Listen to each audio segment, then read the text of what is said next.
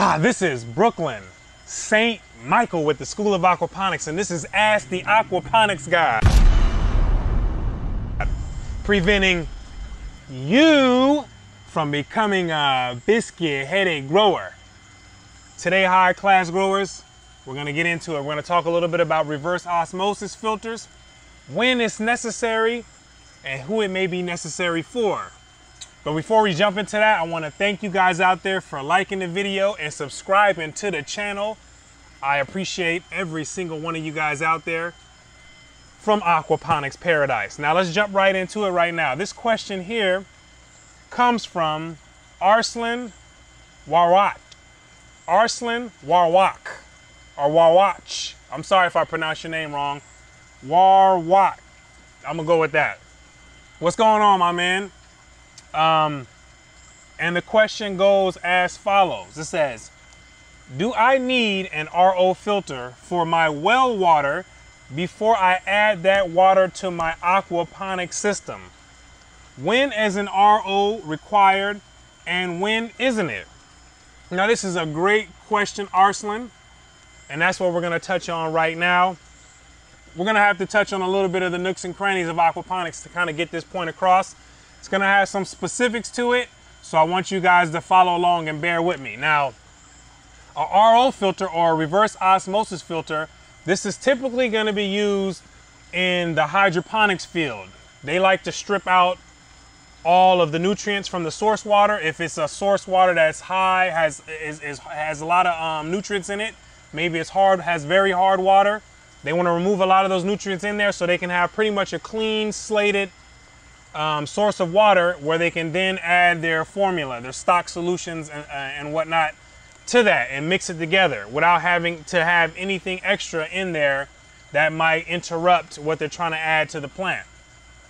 Now that's usually what they do for hydroponics, but there are some instances for aquaponics where a RO filter may be necessary. Now, one of the scenarios where a uh, reverse osmosis filter may be necessary is going to depend on what you have in your source water, right? So it's important that you do a test on your source water in the well to know what is in there. So if you have certain minerals in there, like manganese in excess, um, aluminum in excess, and this is going to depend on your groundwater, the pH of that water. That's what's going to determine what type of minerals that are in that source water um, that you need to look for. Now, the manganese and the aluminum, those can be present in there at certain concentrations that when you add them to your system, they can become toxic to the plants, right? The plants can only take those up, they only need those elements in a small quantity, right? So if you, it's, it's not hard to give, uh, provide a toxicity of those elements to the plant. So you have to keep that in mind. Now, if that's the issue and that's the case, if you have high amounts of, and it could be other elements in there either. Uh, also, you have to just check, right? You have to run a proper analysis on your water. You can have copper in there, depending on the, the pipes that are used.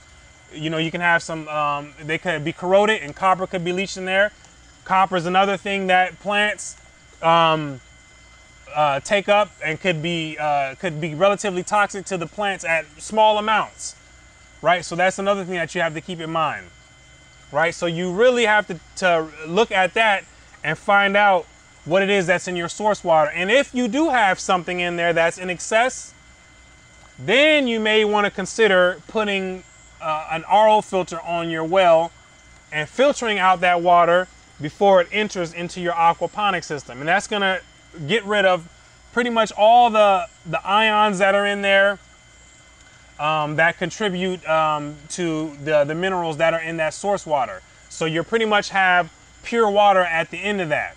But it may be necessary if you have an excess of any of those, uh, those minerals. So that's something that you have to think about.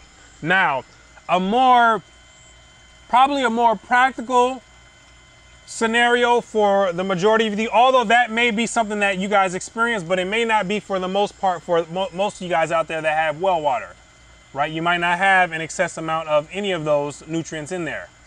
But something that is probably more practical for a lot of people who have uh, well water and you're getting into aquaponics is it's pretty specific. So I want you to pay attention, right?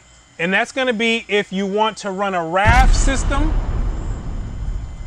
your well water is high in alkalinity and you want to stock your raft system with a relatively low fish stocking density.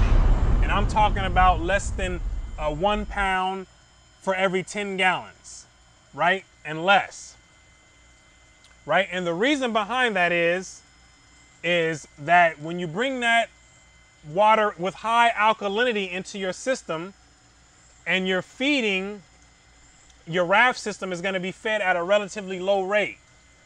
So this is going to deal with pH. So when you're feeding your fish at that relatively low rate, we know that the ammonia is produced as a byproduct. The ammonia is therefore the fuel that's going to jumpstart your nitrification. In that nitrification process, there's acid that's produced, right? There's protons that are produced in that process. That acid is what strips out or strips the alkalinity. It destroys the alkalinity and it begins to lower the pH where we can then add our essential nutrients that are not supplied sufficiently in the fish feed and we can raise our pH back up. So what happens is when you have a relatively low feeding rate, a super low feeding rate, a lot of people like to stock super low. When you stock super low, you're only feeding enough to where it's only producing a relatively low amount of ammonia. As a, as a result, there's only so much acid that's going to be produced from that feeding rate to compete with that high source of alkalinity in your well water. And when I'm talking about high alkalinity, I'm referring to 200 parts per million and more. Right? 200 parts per million and more. So you're bringing that high alkalinity water in there, and I'm talking about as a start, the start of your system, and as the top off, right? You're bringing that into your system, and you're only producing a certain amount of ammonia, which only produces a certain amount of acid at, in the nitrification process to compete with that alkalinity. And as I told you guys before, alkalinity is the bodyguard for pH, right? It's the guy standing there with the hands like this.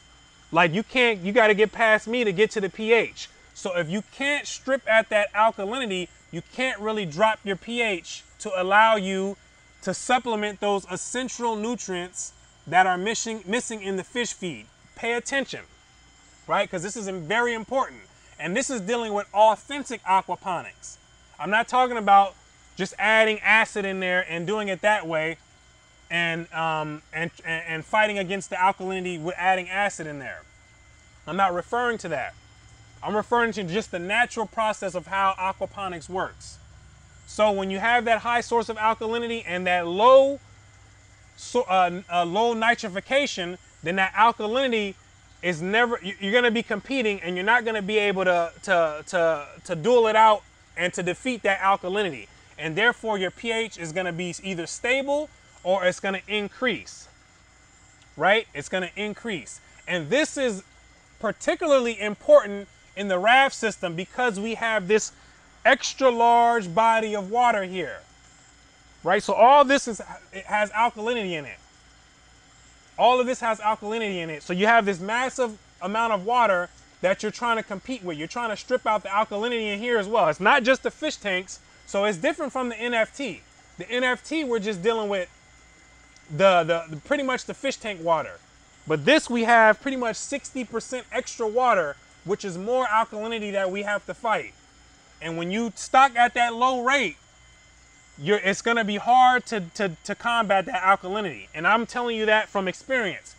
Here in this raft system here, this is stocked currently over a half pound per gallon, right? So that's at pretty much the, the peak at where you want to stock your aquaponic system, right? We're over the peak here on this one, and I'm pushing this one to the limit just to just to run tests.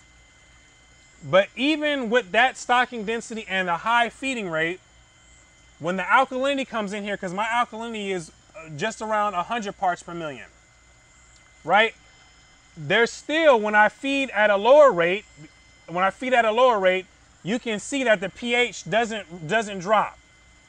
Right? It doesn't drop as drastic. And even when I'm feeding at a higher rate, to uh, the the proper ratio to match the fish that are in here, the pH doesn't even doesn't drastically drop.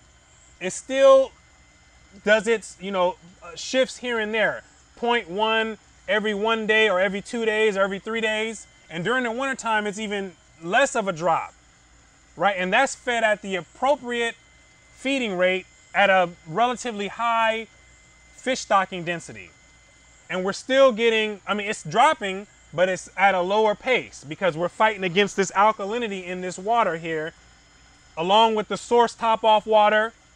And it's only, you know, so much feed that's being put in, put in there to boost that nitrification, to produce that acid to fight off that alkalinity. Right? So follow, I hope you're following along with this. These are some of the nooks and crannies of aquaponics. So if you have if I only put one fourth or one tenth of the, uh, or let's say one fourth of the feeding feed in here, the pH is going to be even lower. And also in this raft system, here you're also the plants are also increasing the um the pH, the roots when they're taking up the nutrients. Right? They're they're they're they're excreting compounds that are increasing the pH in here. So when you test the pH in the raft, a lot of times it'll be higher than the rest of the system because the plants are contributing to that increase in pH. So you're, so you're, you're battling it out in here. And the lower feed, lower amount of feed that you put in there, the, high, the harder it's going to be to combat a source of water that's high in alkalinity. Right? It's going to be harder to combat. Like I said, the NFT, and we'll go into this another time. I won't go on because this could be an hour long discussion.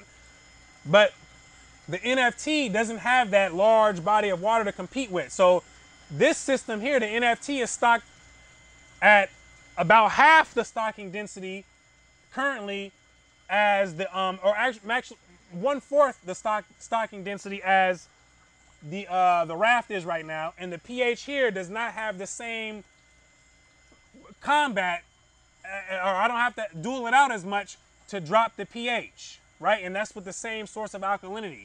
So if you're gonna be doing a raft system with a relatively low fish stocking density, and you have high alkalinity coming out of your well water, then you're gonna most likely run into some issues with the pH.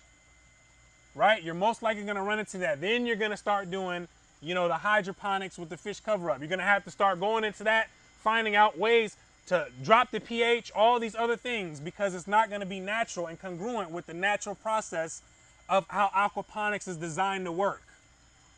Right? So I hope you're following me on that. Now, if you do have that situation, say you do want still to run at a low fish stocking density, if that's what you want to do and you have high alkalinity, then you're probably, your best bet is to tap on that reverse osmosis filter, filter out all the carbonates that are in there that are contributing to that alkalinity, bring a fresh, pure source of water into your system, and then from there, you won't have much of a problem dropping your pH. And then when you adjust your pH, you'll be then adding alkalinity into there because you don't want to just run your system with no alkalinity because your pH is going to be flying up and down throughout the day.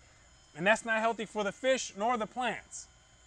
Right? So when you add or adjust your pH, you'll be uh, adding your those missing elements and then also you'll be adding alkalinity in there as well right? And it'll give you some type of protection on your pH, right? It'll give you a few bodyguards to protect your pH.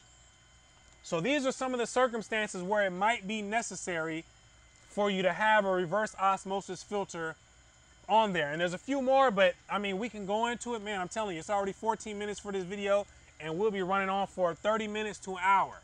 So those are just a few of the uh, situations where I see that someone could have the potential need to need to, to uh, have or put on a reverse osmosis filter before they put that water into their aquaponic system. Right? So I hope that helps you out and gives you something to think about. Right? And um, maybe later on we'll bring out some more examples and more information on this. And then we'll talk more about the differences later on between the, the raft and the NFT and how the um, you know how the water parameters fluctuate between the two systems and how you know it's a different operating procedure for both of those. We'll get into that at a later time. So like I said, hopefully this has helped you out. And you guys out there that may be into the uh, into a certain, you may be pondering the same question, and maybe this is giving you something to think about. So if you guys need more help out there, you can go to the schoolofaquaponics.com or you can click on the link below to get your free starter guide and a free aquaponics course that's going to help you out. Right? Also, you can get into Aquaponics Paradise. That's where you learn the fundamentals of aquaponics, and there you can get growing. Right? Get a nice foundation to build your house on. Right? So, with that being said, until next time, this is Brooklyn, St. Michael with the School of Aquaponics reminding you to stop walking and get you a car.